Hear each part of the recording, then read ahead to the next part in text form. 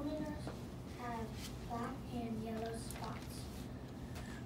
Where do salamanders live?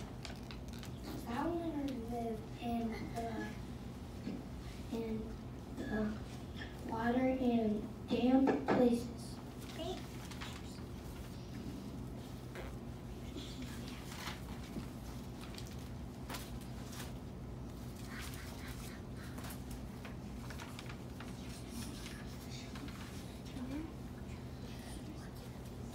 salamanders eat. Salamanders eat bugs and worms. What are baby salamanders called? Baby salamanders